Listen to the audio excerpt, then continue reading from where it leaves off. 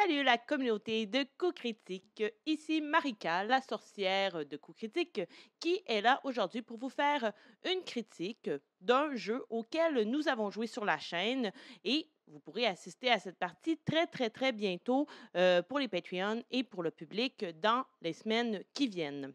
Et il s'agit du jeu Camp Flying Moose. Donc, qu'est-ce que c'est Camp Flying Moose? C'est un jeu d'Alicia Furness qui met de l'avant euh, les camps de jour, les camps de vacances. L'autrice précise même s'est inspirée de ses expériences personnelles dans euh, l'association Girl Guide of Canada ainsi que de la bande dessinée Lumberjane pour la création du jeu.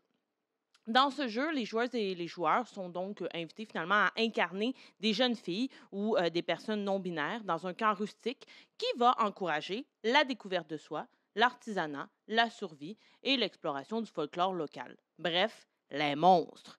Entre pièces de théâtre de fin d'été, lac aux grenouilles étrangement profonds et discussions entre amis, il y a beaucoup de place à la liberté et au jeu au sein de Camp Flying Moose. Donc, ça, c'est globalement ce que le jeu nous offre un petit peu comme atmosphère, comme univers, assez simple. Tout le monde peut s'y retrouver, en fait, puisque même si nous n'avons jamais été dans un camp de vacances, dans un camp de jour, on a des amis qui sont déjà allés. On sait c'est quoi l'ambiance de la place. Même, on peut penser au Scout, qui est une très bonne référence aussi pour penser au jeu d'Alicia Furness. Juste pour ajouter quelque chose sur l'autrice, elle a quand même plusieurs jeux à son actif. Vous pouvez aller voir sur, sur sa page web très facile à trouver. Donc, euh, elle a écrit des scénarios aussi, dont un scénario pour euh, Brindlewood Bay, euh, qui est un jeu que j'ai kickstarté, que j'attends avec impatience, qui est fait par Gauntlet Publishing. donc, elle a écrit l'un des scénarios principaux, mais en fait, qui est comme une expansion de Brindlewood, qui s'appelle New Feast Imperial. et vous pouvez le trouver, entre autres, sur sur euh, Drive Thru RPG. Euh, mais elle a également euh, fait le jeu Paranormal Inc. Elle, elle, aime beaucoup les jeux avec des fantômes, entre autres. J'ai pas joué à aucun autre jeu que Camp Flying Moose. C'est en fait en découvrant Camp Flying Moose que je suis allée lire un petit peu sur Alicia Furness. Elle a fait également Basic Witches, qui est son premier jeu de rôle. Donc, je vous invite à découvrir ce qu'elle fait, à l'encourager aussi. Et elle aime beaucoup, en fait, les jeux qui sont dans le système de Powered by the Apocalypse. Donc, je vais vous parler justement un petit peu du système du jeu qui, qui, s'inspire finalement de ces jeux PBTA. Donc, en somme, les joueuses et les joueurs doivent résoudre les problématiques en effectuant des mouvements de base ou, à certaines occasions, des mouvements spéciaux spécifiques à leur personnage. Donc, il ou elle brasse alors 2 des 6 auxquels on ajoute les modificateurs appropriés. Sur 10 et plus, il s'agit d'un succès franc, donc euh, le joueur ou la joueuse euh, réussit euh, avec succès l'action qu'il ou qu'elle voulait entreprendre.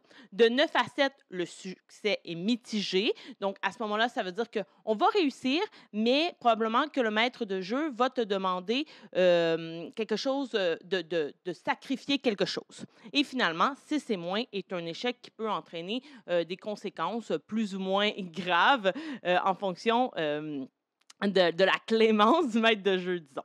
Dans Kim Flying Moose, il y a juste cinq statistiques, ce qui est assez facile à prendre en main, à savoir la vitesse, l'intelligence, la force, l'amitié et l'artisanat.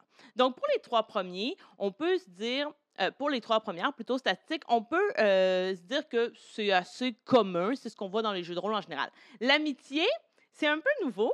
Euh, et justement, dans Game Flying Moose, il n'y a pas de mécanique de combat. Donc, c'est impossible de régler les choses avec de la violence. OK? Ce qui est tout à fait dans l'esprit d'un camp de jour, on va se l'avouer. Donc, l'amitié devient finalement une compétence importante. Et l'artisanat, on peut la retrouver parfois dans des jeux de rôle, mais tout de même, ça se prête, plutôt bien au scoutisme. De plus, les personnes autour de la table ont six mouvements généraux auxquels ils peuvent faire appel pour régler les situations qui euh, vont de se faire un ami justement à investiguer, qui est un petit peu plus euh, fréquent, récurrent dans les jeux de rôle. Pour finir, chaque joueuse et joueur doit sélectionner deux mouvements spéciaux, euh, puisqu'il n'existe pas de classe dans Kim Flying Moose. Et il y a dix choix qui vont de rapide mais silencieux à j'ai ce badge, par exemple. Donc ça, c'est ce qui concerne les joueurs. Il y a une fiche de personnage à la fin. Donc voilà le petit jeu ici. C'est assez court, hein? ça fait une trentaine de pages. Et la fiche, c'est ça ici. Donc, ça se base sur cinq questions, le nom, la description sommaire du personnage et cinq questions qui vont finalement avoir plus un lien avec les relations qu'entretiennent le personnage avec les autres personnages. Ce qui aide justement à faire en sorte que euh, la partie est plus facile à implanter. Pour ce qui est du rôle du maître de jeu, en fait, le maître de jeu va jouer euh, la monitrice ou les moniteurs, j'ai tendance à dire que ce sont plutôt des filles, puisqu'on met vraiment de l'avant qu'on veut que les personnages soient des filles ou des personnes non binaires ou euh, des, personnes trans. Donc, euh, elle va jouer la monitrice, c'est-à-dire celle qui donne les règles, hein, littéralement, mais aussi euh, dans le jeu, euh, et qui va finalement expliquer un petit peu les lieux, parler un petit peu des mystères, pousser justement les joueurs et les joueuses à aller vers les mystères.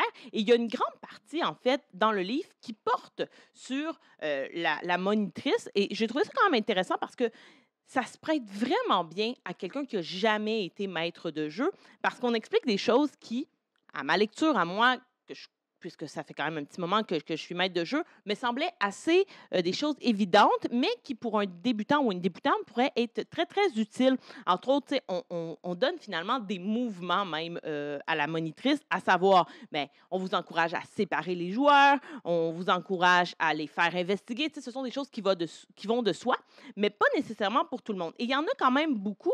Il y en a une bonne dizaine de mouvements qu'on propose, un peu comme on le fait pour les joueurs, au maître de jeu ou à la maîtresse de jeu. Donc, en somme, je dirais que pour la maîtresse de jeu ou pour le maître de jeu, c'est un jeu qui est super facile à prendre en main. Le lore est assez restreint.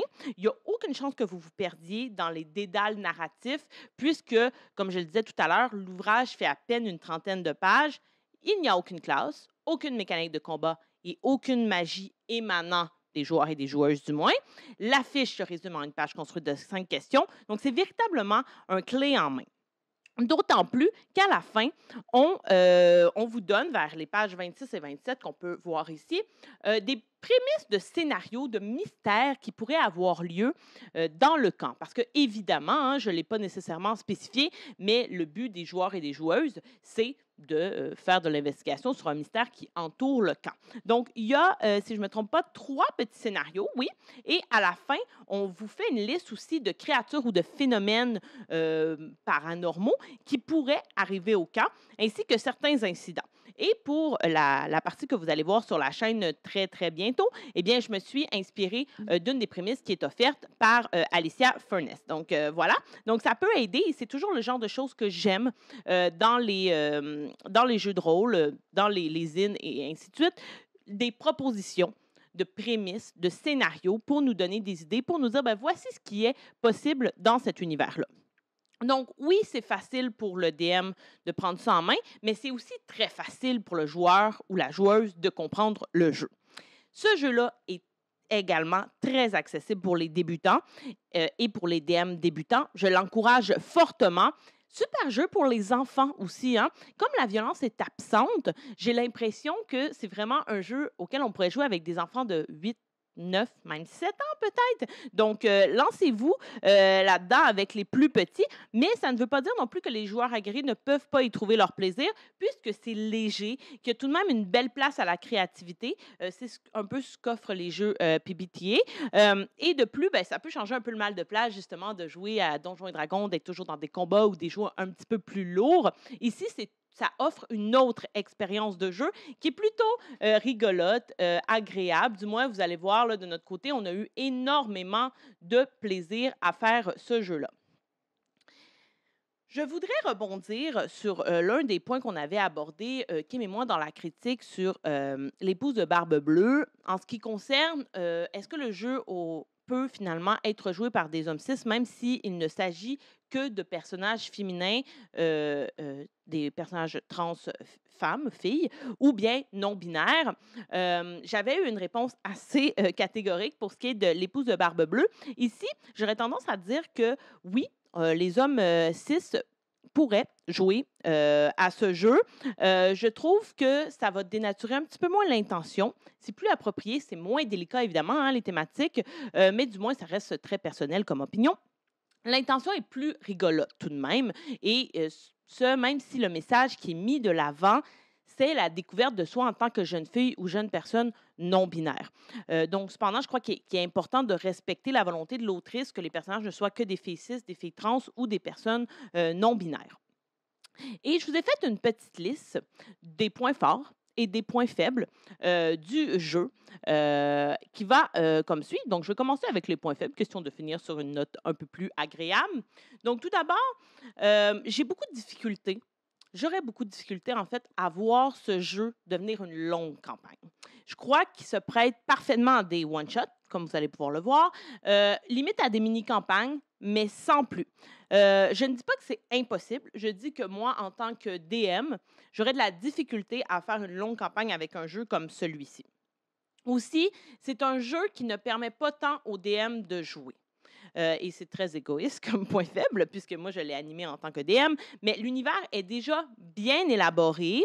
il y a quatre, ans, quatre endroits entourant le camp qui sont quand même assez bien détaillés.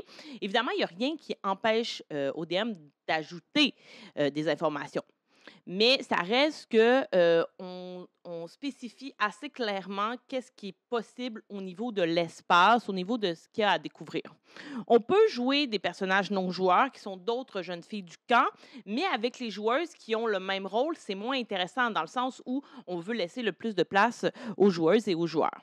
Il y a la monitrice, comme je l'ai dit tout à l'heure, qui est présente, qui doit être là, qui doit encadrer aussi, mais ce n'est pas nécessairement un rôle clé. Et finalement, les mouvements, je trouve, sont parfois décrits de façon un peu trop élaborée.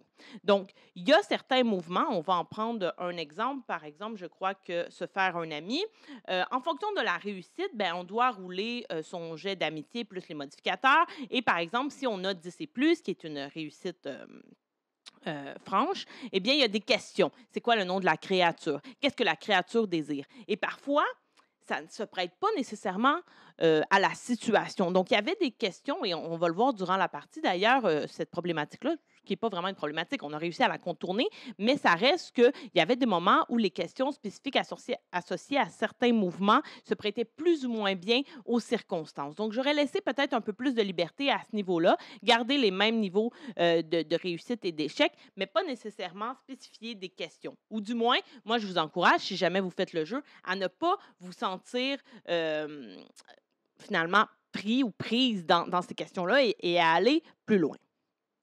Pour ce qui est des points forts, mon point fort numéro un, la grande inclusivité du jeu. Le fait que l'intention soit la découverte de son identité de soi en tant que jeune fille à l'adolescence, moi, je trouve ça super rafraîchissant. Étant une enseignante au secondaire, donc partageant mon quotidien avec des adolescentes de 14-15 ans, je vois ça à jour et je trouve vraiment que c'est un super jeu pour mettre ça de l'avant. Donc, les premières pages, et l'emplacement est toujours important pour moi. J'en avais parlé un petit peu euh, avec un autre jeu, je pense que c'était Kids on Brooms, aborde le genre, la question queer et les outils de sécurité pour un jeu confortable pour toutes. Donc, en bon français, on essaie vraiment de faire de Camp Flying Moose un safe space. Il y a une bienveillance marquée qui se dégage de ce livre, autant dans les moyens mis en place pour en faire un safe space que dans les thèmes euh, abordés. Donc, par exemple, au tout début, euh, vraiment, là, ce sont les premières pages, on parle de 6 et 7. On, dans les outils à utiliser, on parle vraiment de cartes de couleurs, donc rouge, c'est on veut absolument pas parler du sujet, on met la carte au milieu de la table et c'est un sujet trop sensible. Jaune, c'est d'accord, on peut en parler, ça peut se passer, mais on aimerait que ça se passe un peu sous couvert, on voit pas nécessairement l'action. Et vert, c'est OK, tout le monde est OK avec ça, on peut avancer en ce sens. Donc, de cette façon-là, tout le monde euh, est à l'aise euh, des thèmes qui sont abordés. Un autre des euh, points forts, c'est le concept du camp dans dans un jeu de rôle. J'en ai parlé un petit peu au début. C'est simple, c'est léger et ça laisse un brin de nostalgie. Parce que, comme je le disais tout à l'heure, même si nous ne sommes pas tous allés dans des camps de jour, nous n'avons pas fréquenté nécessairement des camps de vacances, on sait qu'est-ce que ça laisse comme, euh, comme souvenir, comme pensée d'être autour d'un feu, d'aller faire du canot et tout ça. Et euh, on est l'été, donc c'est tout à fait approprié. Euh, on trouvait que c'était de circonstances. Et le fait que les quêtes doivent être réglées principalement à l'aide de la communication, mais ça participe à tout cela, à cette énergie de kumbaya, comme je l'ai appelé souvent dans la partie. Donc, de façon générale, j'ai trouvé que ça achète un jeu très plaisant, agréable et rigolo. Vous allez voir, on a beaucoup, beaucoup ri. C'est ce que j'appellerais en bon français, j'utilise parfois ça euh, pour euh, parler de certains films, un jeu feel good. Il n'y a aucune prise de tête, autant en ce qui concerne la mécanique que le matériel nécessaire ou l'histoire en soi. Comme je le disais, c'est léger, ça ne demande rien, 2 des 6 qu'à peu près tout le monde a à la maison, l'affiche qui fait cinq questions et le plaisir de jouer des adolescents dans un camp de jour le temps d'une soirée ou d'une mini-campagne, ou si vous êtes plus audacieux, d'une longue campagne. Donc voilà, c'est ma petite appréciation, petite critique de Chem Flying Moose d'Alicia Furness, que je vous encourage fortement à découvrir. Euh, le livre est disponible sur la boutique Exalted Funeral, que vous trouverez en ligne. Vraiment pas dispendieux. Je ne me rappelle plus exactement du prix, mais je pense que c'était une douzaine de dollars. Donc, c'est super abordable très plaisant pour un petit deux heures euh, de plaisir euh, entre amis. Euh, je vous encourage évidemment à écouter notre partie qui aura lieu très, très bientôt sur la chaîne qui va être diffusée et qui va mettre en scène d'autres chaînes, dont Etu Game, Roche Papier Dragon et On Start ça. Donc, on retrouve le groupe de filles qu'on avait eu pour l'épouse de Barbe Bleue, mais on fait juste changer les chaises pour ce qui est de l'ADM. Donc, Kim sera joueuse dans cette partie et c'est moi qui va animer tout ça.